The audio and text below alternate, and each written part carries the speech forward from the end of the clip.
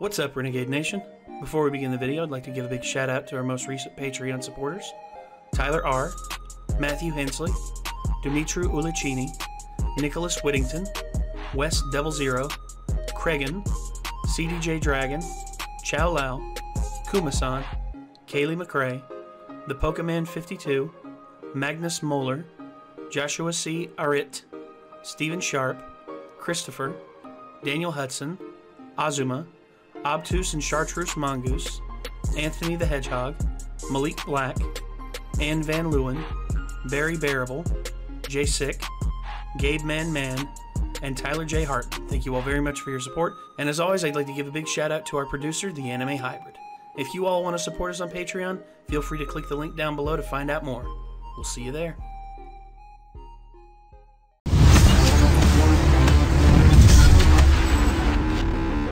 There's one thing you can always say about this uh, this this game franchise: the soundtrack has pretty much always been on point. Then There's a band that like fucking nobody appreciates that was on it. I'm just like, There's a lot of them. dude. Like, Yeah. CKY. Oh yeah. Oh gosh. Can't kill yourself.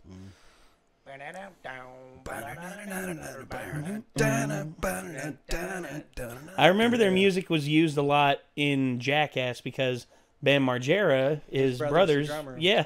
yeah, and that's where a lot of Jackass came from. The videos that they put in skateboard magazines with that band's music behind it, yeah. which was essentially Jackass before Jackass. Well, yeah, There's like because not many bands where like I could just hear the guitar tone and immediately know who it is. But he has like one of the most unique guitar tones, and I love Sounds it. great, It sounds so yeah. good. And It's so unique. I remember when when they included the different skaters. I remember when they actually included Bam Margera Mhm. in these games, and it was like two. I or think three. I think two or three was when he first got introduced. 100. percent I remember Bob Burnquist was always like the second one, and then in the third game, I think Steve Caballero took over Well, as like the second main uh, skater. I would argue Rodney Mullen Well, Rodney was he always came in number two. Well. And Rodney invented half the tricks that are on the game. Well, yeah, and Rodney is Rodney is like the best street skater Yeah, by far. for Tony Hawk was the best Vert. skater. Well, it's arguable between him and Bucky. Danny Way and Bucky Lasek. Danny Way wasn't on. He had his no, no, games, Danny but, was uh, yeah. Was it Mullen that did the Impossible or? Rodney Mullen. Yeah. Yeah, I mean, he did the dark slide, the kick flip, the ollie. He invented the ollie and the kick flip, dude. Like, you know, he's he's he's without pretty much him, uh, street skating would not be what it is. No, I mean, and and that's the one thing about this game. They they originally had these games envisioned as like a downhill thing that had verts in it, so where you could like grab boosts and all Yeah. that. But they found out that the street skating aspect, the grinding, the uh, you know the the ollies, the kick flips, everything about that was much more fun than just the downhill segment. And they Oh, only yeah. did one downhill segment in in the first game and it was uh, I, i'm not going to say it was the most boring level but it was the one level that i don't remember the most of I think it was like a um, excuse me competition level.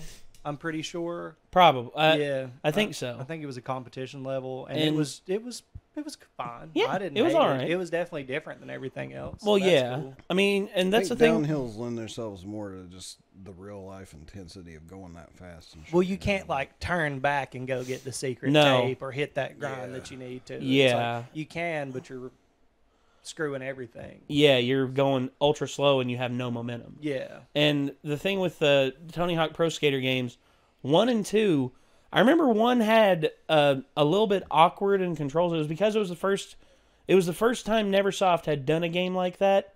They originally were doing a shooter. It was Activision, right? no it was neversoft. Really? activision was the publisher Oh, okay. but neversoft was the developer.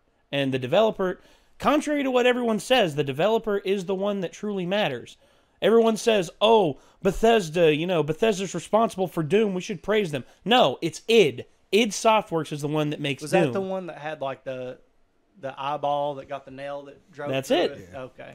and uh the Uh, Bethesda's responsible for fucking up Doom Eternal now. yes Todd Howard, actually. thank you todd thank you for Way to that go, asshole. But the Tony Hawk Pro Skater games, ever since NeverSoft uh, moved on after I think it was American Wasteland 2, um, it pretty much it pretty much went entirely off the rails. no pun intended with that, by the way. And um, now, it, and then there was Tony Hawk Pro Skater 5, which everybody hated. It was an absolute atrocious game. I have never played it. Be thankful. Don't really care. Be- Like after, Mm. for me, after which one was? Underground, I was I was kind of Underground no longer invested. Underground was there Hmm. was a lot of people at Neversoft. They said that was their their n- one Tony Hawk game that they can truly say they were 100% proud of. Yeah, I mean it was good, but like for me, once Skate came out, it was just like, ooh, Well, Skate was Ugh. Skate the was, thing, a more too. procedural, more realistic, whereas Tony Hawk's Pro Skater was built it was an to arcade, be an arcade game. game. Yeah, Yeah. which And I that's- Well, appreciate. skate kind of was like next gen with it too. Like, Yeah. they had some stuff that I don't even think they probably could have done very accurately in Tony Hawk for the time period that it was out. I don't know. No, dude, Thrasher Skater was very. Skate. Oh, I remember that. That one was- like a skate simulator, basically. Or The pretty Thrasher was the predecessor to that. You used the analog stick and everything for Yeah. the same shit, and then like Oh, I Street one of the things I immediately noticed was in Skate- SK8. Eight, or- yeah, I remember that one. that one and two were also rivals for Tony Hawk that were good. But Like other in Tony that- Hawk, like if you just rode up onto a curb, it would just let you go up on there. And one of the things I immediately noticed in skate is much No. like in real life, like your skateboard would hit the side of the curb. Yep. So like you had to actually Well- ollie up curbs and shit. Well, and, and Skate Three is like the best skateboarding game ever, in my opinion. Well, and and truth is, in terms of in terms of like procedural, realistic, and more more realistic skateboarding, absolutely. but there is no there is no denying the impact that Oh. these games had on us when That we is were not young. what I'm talking about at all. no, no, no. Uh, I'm talking about just gameplay here. yeah, gameplay. Now, as far as like cultural and just me personally, the impact that Tony Hawk had on me, dude, the demo disc that came with the Pizza Yes, Hut pizza yes, that had the warehouse episode on it changed my life significantly in many different There ways. There was actually there's actually a little bit of a hack that people discovered in that is that you could actually like there was a, a section in the mall that if you hacked it back in there was a statue of Bruce Willis. wow. And you know why? Because the engine that they used for the first Tony Was Hawk Pro Hard. Skater game was uh no, it was actually for a a game that actually starred Bruce Willis that wasn't Die Hard.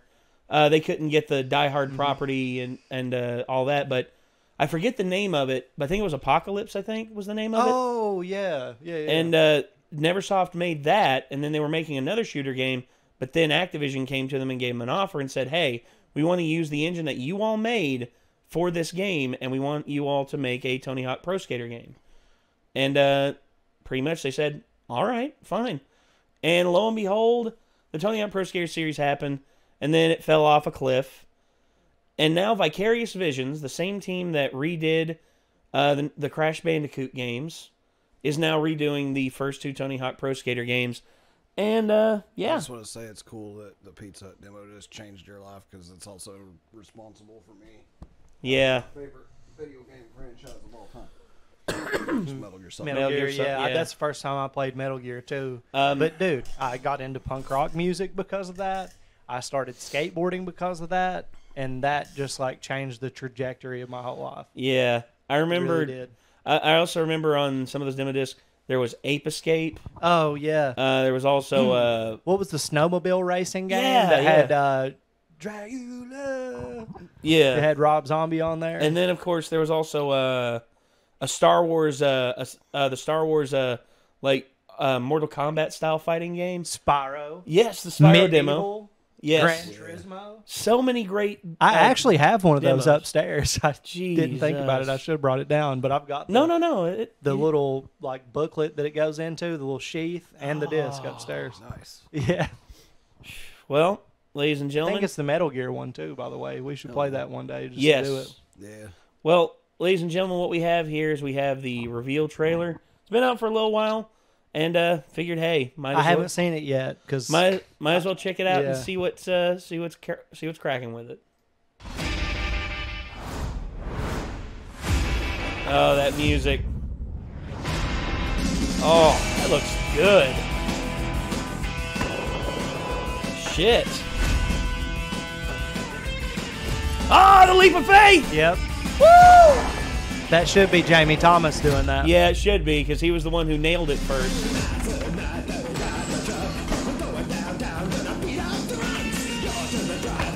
Oh, look at that.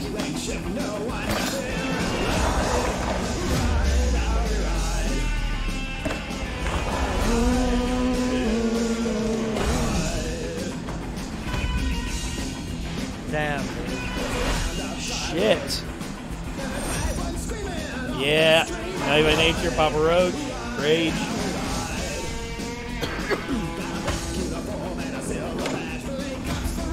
Woo! Yes! Woo!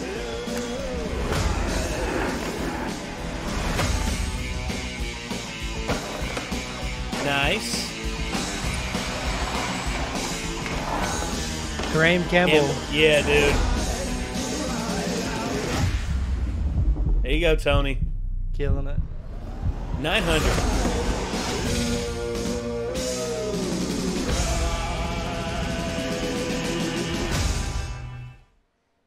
Okay. Looks nice. Dude, Yes. I saw Jello Biafra live at Camp Punk in Drublic a couple years ago. Nice. He's still killing it, dude. Still. He he jumped over the railing and was like letting the crowd hold him up. This man's like near sixty years old, just just still, still rocking. punk as a, a motherfucker doesn't care. Yep. Oh, And this is a this is a true remaster that includes all the levels and not like what, what Tony Hawk Pro Skater HD did, where they included like only five levels from each game. well, it wasn't just one and two. They did it for three, Three. and four, I believe. There Ye- was a bunch of different levels, Yeah, but- in it. but also they they really cut out a lot of the soundtrack because they didn't Yeah, seek the licensing rights. right. Which that's one thing I don't expect all of the original Well, songs that wasn't back. even. It was only digital too. It wasn't like I've never seen a physical copy of it. No, no, but it was just uh, well, the store, right? PlayStation Store. I think so. And uh, here's another thing about it as well. Watered down versions of games have been happening. There's one that pissed me off so bad. I got a refund as soon as I realized how much they cut out.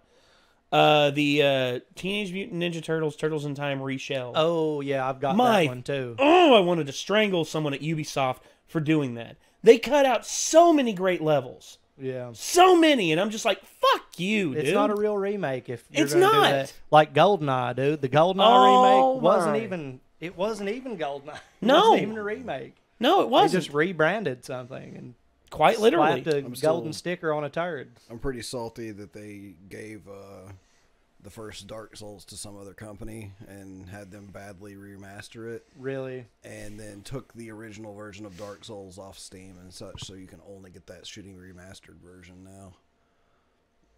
Once I didn't again, get a hold of myself a copy of the original on corporate before they did people sticking their idea, like not listening to their fan base, doing what they think is right, and being tone deaf to everybody else. Again, dude, it's corporatism. It's corporatism in America, not But free market. This corporatism. This looks badass. Yes, man. this does. Which Vicarious Visions, again, like I said, they've always done a great job remastering stuff. I mean, hell, they actually worked on the. This is actually an interesting thing. I did not know this about Vicarious Visions. Vicarious actually worked on the uh, mobile ports for a lot of the old Tony Hawk Pro Skater games, Really? like the Game Boy Advance and stuff like that. Yeah. They actually worked on them back Underground the was actually a good one. yeah, they it was actually a good mobile game. they actually worked on a lot of those back or then. not mobile game, but handheld game. Yeah, and and the thing is, I shouldn't say mobile. Yeah, I, I fucked Yeah. that up. The yeah, the handheld versions, but um, the whole thing with Tony Hawk's Pro Skater One and Two being remade fully is This is the second time that's happened. They Yeah. remade it for Xbox exclusive. Oh, They yeah, remade 2X. Yep, two X. So this is the third time that Tony Hawk One and Two have been put out, but this looks, I mean, beautiful. Yes. man. and like it, the the links that they went to obviously connect it to the originals and weren't just like, oh, you know, all new soundtrack, this or whatever. It's just like they're growing with their audience, right? Like Yes. we, we've talked about before, and that's appreciated, man. Really is because it means that they have It- some respect for people that put them in the positions that they're at in life now. yeah. You know, I mean, a- and if anything, this shows me that that comp- that certain companies. It's here's the one thing about it, everybody. I know. I know a lot of you out there want to suck Bethesda off just because you want to get the next El- Elder Scrolls game, but they obviously don't care about you because how long has it been since you have gotten a new Elder Scrolls game? I got Elder Scrolls Blades on the Switch yesterday. Woo. Punish these companies by not buying their shit. How does Elder Scrolls Online still exist? Because, dude, their fan base on there actually has maintained itself because they have improved it. So more than Jenna Marbles keeps it going. Yes. Unbelievably. But again, dude, this is just Why not play World of Warcraft? That's what you want. World of Warcraft exists. Just go well, play that. they've they've improved the combat and it's more like Elder Scrolls now than it is World of Warcraft. if I can't go pick up my arrows, I'm I'm not down with it. Well, You know what I'm saying? If I I, get you. miss and my arrow hits a tree, I should go to that tree and pick my arrow out of it, like Legolas does on the battlefield. You know, recover your arrows. yeah. But like that, the, and you know, I'm shooting four arrows at the same time, and all. I mean, there's just this, uh, this Diablo World of Warcraft style element to the game that shouldn't be there if it's going to be an Elder Scrolls game. Wasn't in any of the other ones. Do you know what I'm saying? Like, yeah. It- It's just it, it's just how they launched it was terrible and for the first 18 months everybody it's, hated It's it. more evidence of the disconnect between them and their fan base because they basically tried to say, "Oh, you all asked for multiplayer for the longest time. Why are you all mad that we made an MMO based off?" And it's like because that's not the kind of fucking multiplayer we asked for. Make Skyrim, but my ever friends can play with me. Yeah, That's it. All we ever Yeah, wanted done. was a fucking Elder Scrolls game, exactly like the games that exist right now. But let my Yes. friend come on and connect to me and co-op A- the damn thing. as, thing. matter, Thank you. as a matter of fact, That's all we were Like asking Far for, Cry. not a fucking Yeah. MMO. Like Far Cry. Far fucking Cry. did. Ubisoft actually Come did it right with Far Cry 5, 100%. Oh my god. Far Cry 4 is pretty janky from what I played so far. Well, yeah, it's that's why still it's fun pretty playing straight. No, 5 with it. straight up is awesome. Yeah, me and Jesse, my my best friend, played it for three or four hours, never had a problem. Hmm. And he, I was just in his game, raising hell. Could still summon all of my shit. Like, well, go to the spawn locations, I guess you could say. But Well, and and here's the one thing about it. I mean, companies have the ability to do this stuff, but they want to tread on safe ground and don't want to and don't want to invent something new and spend money on that. They don't want to Yeah. do that. Which companies like Vicarious Visions, they obviously want to do this shit. They obviously love the the the fans of these older games and are and are showing that they that they care about these fans by putting this shit out. well, a lot of things, all you need to do to it is just make it look prettier. Yeah. That's all. Make, Update it. update- If it- update the graphics. A if lot of times anything, the polish- Especially gameplay what they did to Medieval. It- Medieval's exactly the same game, but it's prettier. Still need to it's play still that. great. And, and- And, and they let you move the camera with the analog stick. That was the only thing I asked for. Like, yeah, they make one change to it, let you use the analog stick for the camera. Polish the game so to make it better. That's what a remake or a remaster should do. Yeah. Polish the game to make it control Well, just better. objectively look at it yeah. and be like, was there anything that needed to be fixed? And Yes. It was already still a great game, like Well- Spyro. Like you know, like then no, don't fix what's not broken. Well, and then Like, of course, well, I would say probably the best remake or remaster that's happened here recently is actually the one that they did for Shadow of the Colossus. Dude, Crash Bandicoot. no, the was Tra- Crash. Bandicoot ones are awesome too. Yeah. I actually have a huge request for one right now, and I would be super fucking stoked to hear about it if they do it. it Morrowind. involves a company that's been remaking other stuff that has been pretty damn good, Mm-hmm. And did make a new entry in the same series that was pretty fucking good. Can you guess? Resident Evil. No. Different series, the same company. Silent. what Who is it? Silent. they're, they're not No? Silent. That's Konami. Who? Who? I Devil don't know. May Cry. Devil May Cry. Didn't they do it? Dude, They did a DMC5. fucking reboot, and it was shitty. Uh, What I want is a good remake of the first Devil May Cry, like on the Well, dude, DMC5 engine. Well, That's DMC my five, big dude. request right now. What? DMC five was awesome. I said they made a good game in the series that was awesome recently. I want a remake of Resident. Or, or Oh, Devil you May want a Cry remake of the very Yeah. first one? Yeah, I want a remake of the first one on the Devil May Cry 5 engine. Okay, I can see that. Yeah, They need to take all the Persona Oh, and they- games and put them in the Persona 5 engine. Oh Make 'em my look that god! pretty. I agree with that too. Well, they definitely need to just take one Revelations, Persona Revelations, and just be like, "This is atrocious. Rework the whole fucking thing, and then Keep the story. put it out." course. Yeah, the story, but everything else about yeah, it. fix the gameplay elements. yeah. Which I mean, hey, if Atlus wants to, they will because they're fucking Atlus and they can literally do anything they want. They have literally they have no overhead to tell them what they can and cannot do. They have that much control. It's yeah, just like- Atlus don't give a damn. You know, it's- Sega it's- just bailed them out to be able to do that, man. That's Well, something yeah. that I didn't know that gave me so much respect for Sega. Yeah. Atlus was done, dude. Of and we would have never gotten Persona 5 if it weren't for Sega. and I now mean- and because the exclusive deal they signed with PlayStation, Yeah.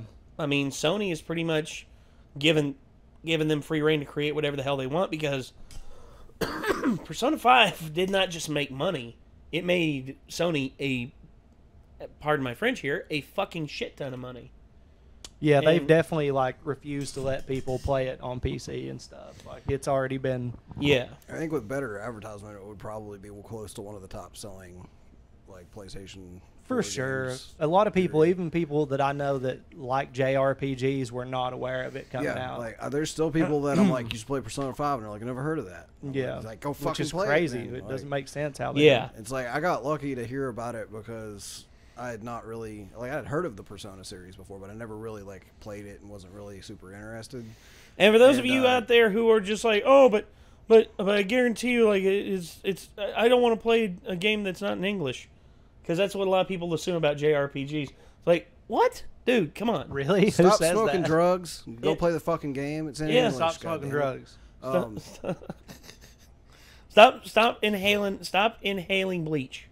Yeah. I'm talking about like PC Or your own ass lovers that are fucking up fumes. their brain. It's Oh, just like I got lucky because All right, we need to we need to move on. I, I, there, don't Go fucking interrupt me. no, go ahead, go ahead, go ahead. Son Say what bitch. You gotta say.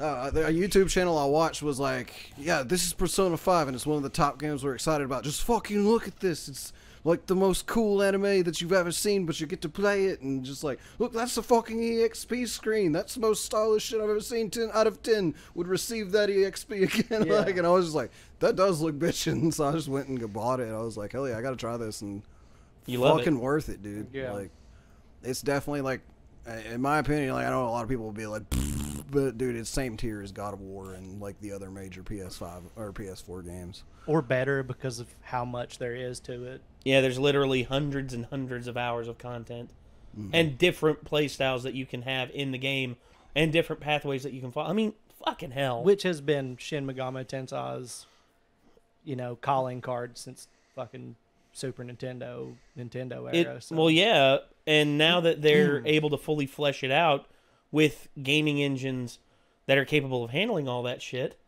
here we are. And now, whatever they do next, I mean, they they did Persona Five Royal. Only thing that comes next is whether they decide to do Persona Six, or like you said, go back and remaster it. Oh my god! remaster, the original. Everything.